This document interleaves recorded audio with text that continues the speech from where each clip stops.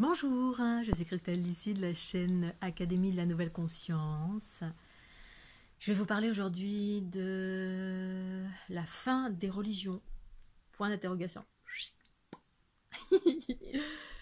Donc je vais vous parler de ma conscience, mes expériences. C'est un partage, chacun fait ce qu'il veut. Je ne cherche à convaincre personne, je ne détiens pas la vérité. Je partage que ma vérité, on est d'accord. Euh, ça peut être un sujet qui fâche, mais voilà, pour moi, les choses sont ce qu'elles sont, il n'y a pas de jugement, c'est juste un constat, une observation euh, à partir de mes expériences et de ma conscience. Euh, c'est-à-dire, je vais vous offrir un curseur entre guillemets patriarcal et matriarcal, ou alors euh, patriarcat pour moi c'est la séparation, l'ego qui sépare en soi, ou l'ego collectif, pour aller vers l'unité qui réunit. Qui réunit quoi? Qui réunit le féminin du masculin, c'est-à-dire le corps et l'esprit. La séparation, c'est l'inverse. C'est le corps est séparé de l'esprit, et l'esprit est remplacé par l'ego, euh, qui est la somme de toutes nos blessures. Mais bon, je ne vais pas revenir là-dessus, j'ai déjà expliqué de mille et une façons ce qu'est pour moi le patriarcat le matriarcat, qui correspond tout simplement à un cycle évolutif euh, sur cette planète. Le patriarcat, d'une façon générale, a régné, et on va vers un changement de cycle. Donc patriarcat, ça correspondait pour moi à l'ère du euh, poisson, et on va vers l'ère du verso qui correspond pour moi au matriarcat. Tout ceci ne sont que des mots que j'emploie, bien évidemment, euh, qui ont une expression, une définition qui est celle que je donne. Voilà, pour, pour certains, d'autres personnes, patriarcat, matriarcat, c'est autre chose. J'ai déjà expliqué pour moi ce que c'est, je viens de le dire à l'instant, voilà. Patriarcat, c'est guidé par l'ego, matriarcat, c'est guidé par la conscience. La conscience, euh, pour moi, c'est le principe féminin qui est en train de ressurgir sur la planète en qualité de fréquence cosmique euh, au cœur de chaque chose. Bref, tout ceci, euh, toutes ces considérations en lien avec la religion.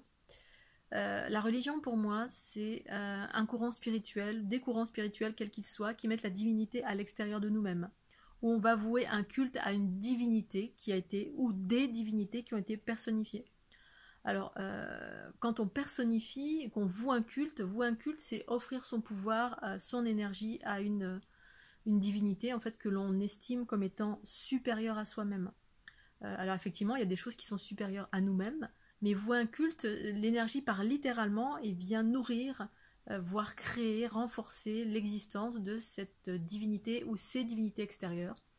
Exemple, euh, bah, Dieu, déesse, Bouddha, Allah, Krishna, Shakti, Vishnu, quelles que soient les divinités auxquelles on va vouer des cultes. Donc des gens vont faire des prières, vont dans des lieux de culte pour prier. Et quand on prie, on prie à l'extérieur. Une divinité qui est quelque part. Souvent on regarde vers le ciel. Euh, donc en cela, on vit une forme de séparation. Qu'est-ce qu'on sépare? On se sépare, l'humain est séparé du divin. C'est-à-dire qu'on ne se considère pas nous-mêmes comme étant la divinité manifestée et incarnée.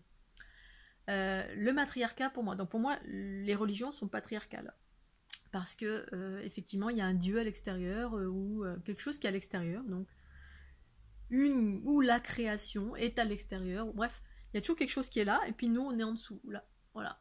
Et puis quelque chose veille sur nous et on n'est pas nous-mêmes la créatrice ou le créateur ou la création ou la source quel que soit le terme qu'on utilise pour évoquer eh cette force supérieure qui régit tout donc ça pour moi c'est les religions qui nous mettent dans la séparation. Il y a nous les êtres humains inférieurs, voilà, petits, et la création qui régit tout et qui a droit de... Euh, bah, qui, nous donne des bons points selon nos bonnes actions. Alors, évidemment, ça a amené à des belles choses comme des choses un peu moins bien, puisque les hommes, bah, voilà, créent, euh, régissent, euh, font un peu ce qu'ils veulent autour des religions, en évoquant un dieu ou une déesse qui a décidé ou euh, alors qu'en fait ce sont des écrits qui ont été euh, créés par des êtres humains, hein, comme les évangiles, comme toutes sortes de textes, euh, avec la parole d'êtres humains, plus ou moins déviés. peu importe, pas de jugement porté à ça, c'est ce que c'est. Et puis, l'ère du verso, l'unité, le matriarcat, l'unité, c'est comprendre en fait, en tout cas pour moi, que la divinité est au cœur de chaque chose, c'est-à-dire tout est divin pour moi et je suis la divinité en manifestation. Alors, on peut évoquer, euh, moi je parle de déesse, euh, la déesse en manifestation, je suis. Yoda et Yodat. Euh, parce que tout simplement, j'ai mis l'accent sur la déesse. C'est pour ça que j'ai créé un livre qui s'appelle Dieu le Père, c'est la déesse mère. Parce qu'il y a une transition en termes d'inversion des polarités. Dans l'unité, les polarités ont un sens et une expression différente. Euh, et euh, donc je fais l'accent sur la déesse pour rééquilibrer en fait en lien avec tout, bah, tout, ce, tout ce cycle évolutif patriarcal où en fait les choses ont été inversées euh, nombreux aspects ont été inversés et surtout le féminin a été occulté en totalité. Euh, occulté et détourné, dévié, euh, enlevé de sa propre nature. En fait, on a, on a détourné, mais c'est tout à fait juste et normal, c'est un cycle patriarcal. Ce cycle patriarcal, c'est des petits-enfants en expérimentation avec une conscience altérée. Et la conscience, c'est le principe féminin, c'est la déesse, euh, au-delà de ces considérations de déesse où on, peut encore voir une chose à l'extérieur de soi, hein, vouer un culte à une déesse quelconque. Mais pour moi, tout est déesse. C'est-à-dire, la déesse, pour moi, prend une expression de conscience, égale conscience, sagesse, conscience universelle. Euh, euh, c'est l'origine, l'essence, la substance de toute chose, qui se, trouve au cœur de chaque chose. Et en cela, je ne suis pas séparée. Euh, je suis moi-même euh, la divinité, donc euh, la vie. Pour moi, ça prend une notion de... La, divinité prend une notion de harmonie, divinité, unité, surtout l'unité, qui se trouve à l'intérieur de moi, dans le cœur de mon être, dans chacune de mes cellules, dans chaque particule que je respire, en moi, à l'extérieur de moi, autour de moi, partout, il y a cette divinité, cette conscience euh, qui nous relie tous. Euh, c'est particulièrement la fleur de l'unité également, qui euh, s'appelle aussi la matrix génitrix. Donc quand je sors ensuite des considérations de, entre guillemets, les mots en fait qu'on rattache encore avec, qu'on va encore personnifier la, création, on peut dire oh, mais elle se prend pour qui? Elle croit qu'elle est la déesse manifestée. pour moi tout est la déesse, mais au-delà de cela, mes considérations à ce jour, c'est plus déesse, c'est la vie harmonieuse en manifestation. Ce sont des processus géométriques d'unité et d'expansion. Euh, cette fleur de l'unité qui s'appelle aussi matrix génitrix, qui, sont, qui est également une conscience donc unitaire, trinitaire, multitude. Euh, une conscience entre guillemets que je pourrais appeler extraterrestre. Hein, c'est comme ça crée la vie. Euh, cette conscience géométrique, eh bien, elle est au cœur de chaque chose. elle existe dans l'infiniment petit, l'infiniment grand. Elle nous relie à toute chose, elle est pure harmonie originelle, euh, à l'image de l'atome primordial. C'est l'atome primordial pour moi. Et en cela, je ne suis pas séparée. Mon corps et mon esprit sont réunis euh, en une seule sphère, et puis peut se séparer, mais séparer euh, avec toujours cette notion d'unité qui n'est pas...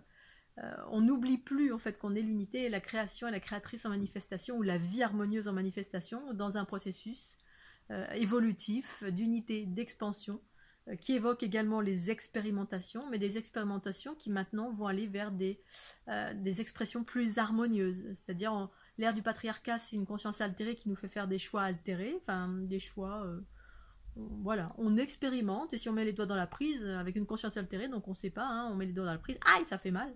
Du coup, ça nous amène à faire des, des expériences plus harmonieuses. C'est-à-dire, on a besoin du chaos pour expérimenter. Le chaos, c'est la souffrance, quelle qu'elle soit voilà, dans, nos pensées, paroles et actions, eh bien, euh, comme on est des petits enfants, on expérimente de façon euh, altérée. Quand on va vers euh, l'unité, la conscience reprend sa juste place. La conscience, c'est, pour moi, c'est la source originelle, c'est l'aspect harmonieux, la conscience, source originelle, universelle en soi. Donc c'est féminin pour moi, à partir de là d'où j'observe, d'où je viens. Euh, cette fameuse matrice génitrix, et qui euh, c'est exactement ce qui est juste et bon pour moi, qui me permet de faire des choix de plus en plus harmonieux, d'être de plus en plus dans la sagesse, la joie, la bonne humeur, la conscience, le détachement, euh, la co-création de ma réalité harmonieuse à chaque instant. voilà, ça me permet d'aller vers une vie beaucoup plus, ben, plus mieux bien, plus sympathique, plus fluide, plus abondante, plus régénérescente, plus. J'expérimente à fond euh, dans la gratitude, la joie, l'amour. L'amour prend une expression différente. C'est plus, euh, ça correspond davantage à la vérité, mais également l'amour de soi-même, davantage. L'amour de ce que j'observe autour de moi, parce que c'est ma propre vision de chaque chose qui génère l'amour, le détachement, la joie, la bonne humeur. en fait la liberté. La liberté n'est qu'une vision à partir de ma conscience. Voilà, c'est tout est relatif à soi en fait. Quand je co-crée ma réalité au quotidien, harmonieuse, eh bien je vis dans un monde de roudoudou, parfait, divin et parfait. Euh, et plus ça va, plus c'est comme ça. Je dis pas que des fois il n'y a pas des écueils, ça arrive, il y a des choses qui se passent dans ma vie. Mais voilà, si je reste bien alignée avec cette, euh, source en moi, cette conscience pure, originelle, euh, unifiée à mon corps, eh bien, il m'arrive que des belles choses. Que de la joie, que de la gratitude, que de l'abondance, que voilà, des trucs sympas. Donc en cela, la religion, eh bien, pour moi, va s'éteindre progressivement pour les personnes qui vont vers l'unité, parce que la religion euh, met euh, la déité, la divinité à l'extérieur de soi. Alors, à l'extérieur de soi, c'est pas que euh, Dieu, Bouddha, Krishna, quels quel que soient les. Et voilà, c'est juste et parfait. Je suis passée aussi par là. Moi, je suis j'ai commencé par Dieu, Jésus, Marie, ma... plein de choses comme ça, des maîtres ascensionnés. Je passée par là, jusqu'à ce que euh, comme je, ma, ma quête c'était je choisis, je, cherche la, la, source originelle en moi, eh bien je l'ai trouvée, mais en moi.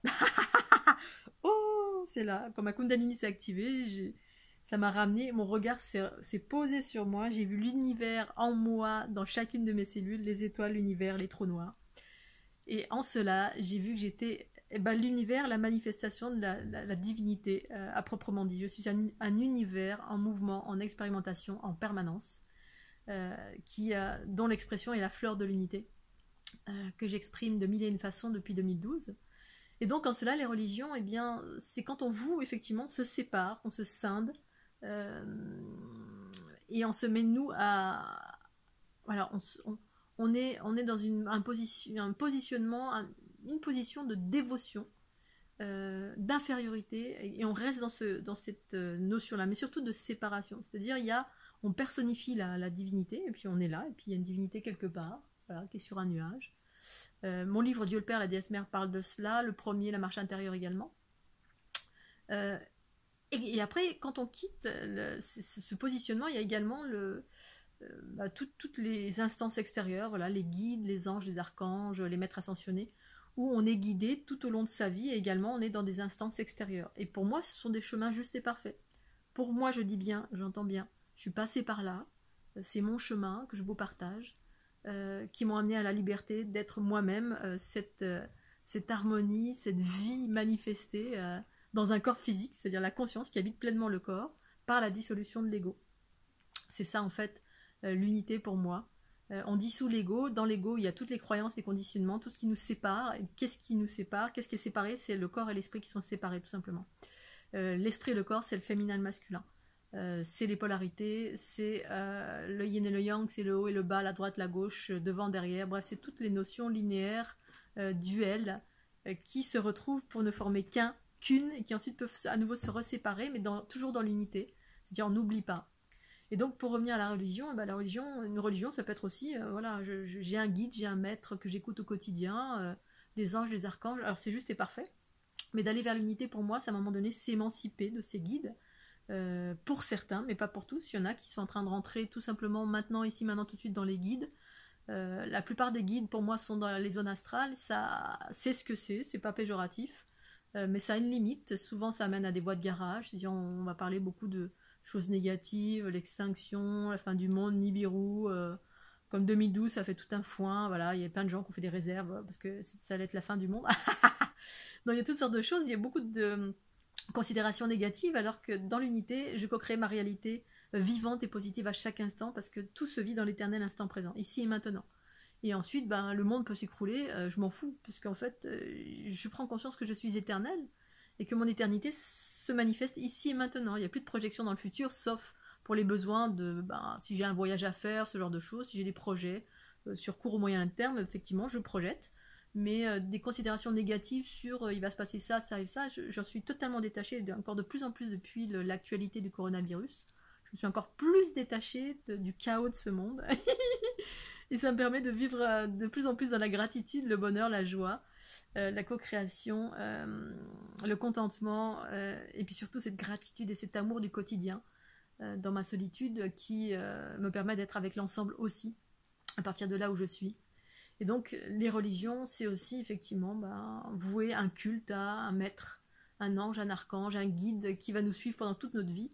Alors que pour moi, d'aller vers l'unité, c'est à un moment donné, effectivement, s'émanciper, lâcher la main du maître, de l'ange, de l'archange, quel que soit le, guide qui vous suit, qui, a toujours été là, euh, pour euh, rentrer dans sa conscience, pour avoir vos propres informations, vous, vous êtes le guide vous-même. C'est ça la maîtrise, le maître en soi ou la maître, parce que pour moi, la conscience qui m'habite, c'est féminin la déesse en moi. J'utilise encore ce terme pour que chacun comprenne et aussi pour équilibrer les polarités dans le changement de cycle évolutif du, euh, de l'ego vers euh, la sagesse de l'androgyna, on va dire. Pour autant, il y en a qui sont en train de rentrer tout simplement maintenant dans les guides, les canalisations, etc. parce que bah, ils découvrent la vie et puis bah, en cela, ils vont passer dans les zones astrales.